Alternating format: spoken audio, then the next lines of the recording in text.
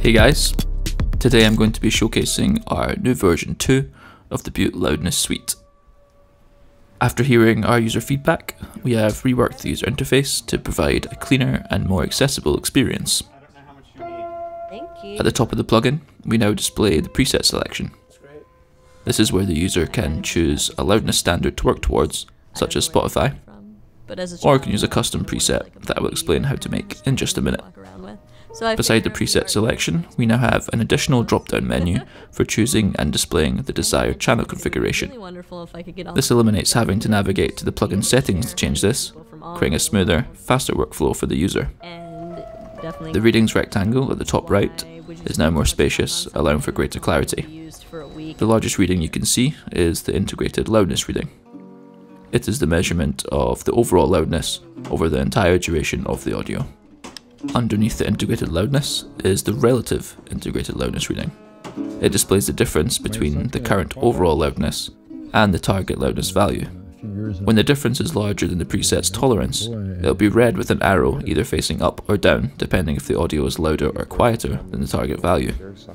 When within the tolerance range, it will turn green and display a circle to indicate this.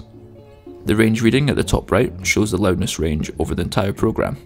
The higher the number, the more dynamic it is. It will also display unstable if the program has ran for less than a minute.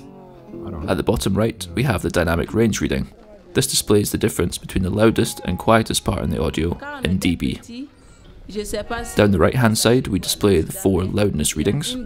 True peak, showing the absolute ceiling of the audio. Short term, the loudness value over the last 3 seconds. Momentary, the loudness value over the last 400 milliseconds, and RMS, the average level of the audio in dBFS. As you can see, hovering over any of these readings will highlight it on the graph, and can also be clicked to hide or show. Further down, we now have a display settings panel for customizing what the meters and readings are displaying. The meter switch will change the meters to display either the true peak value for each channel. This is particularly useful if the user wants a clearer analysis of what each individual channel's true peak reading is, or the four loudness readings for all channels, true peak, short term, momentary, and RMS. When displaying only true peak and the limiter is enabled, an additional meter will appear to display the gain reduction. The reading switch will toggle between live readings or the current maximum value, and the scale switch will flip the readings to either display the absolute scale or the relative scale of the current target values determined by the chosen preset. After popular request, we're now giving the user the ability to adjust the limiter configuration.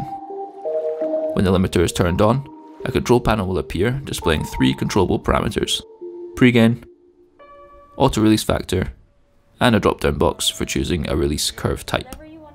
The three curve types available are natural, transparent, and smooth. Using the sidebar menu at the top right, we are able to access the plugin's settings window. It is here that the user can see the detailed specifications of each preset, as well as create their own user presets. To do this, you can select any of the three user presets from the preset selection drop-down list. This now gives access to change all the settings available. Aside from this, we are also able to create our own custom alerts for each reading by adjusting the slider's minimum and maximum positions. And we can turn the tooltips on or off as desired. Back to the sidebar menu, we also have the ability to save and load sessions to and from disk. This is useful if the user wants to send notes about the loudness within a track to a production team, or you wish to load the same session back up on another project.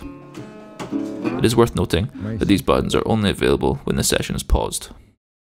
There is also a CSV export option that will export a CSV file showing all the notes about the current loudness information of the audio. Alongside the changes made to the user interface, we've also improved performance and support for many DAWs. We have updated the limiting algorithm, just like in BUTE Limiter 2, and we have improved the meter fallback time to accommodate to the digital IEC 60268-17 standard. Finally, just like in BUTE Limiter 2, we can resize the window to create a sleek vertical view to show the readings in meters, and also collapse the window into a compact view for an even smaller, less intrusive window size. The BUTE Loudness Analyzer has also been updated with all the same changes mentioned, except for the limiter, as this is not included in this plugin. I hope you enjoyed this roundup of the new BUTE Loudness Suite 2, and you can download a trial at signumaudio.com.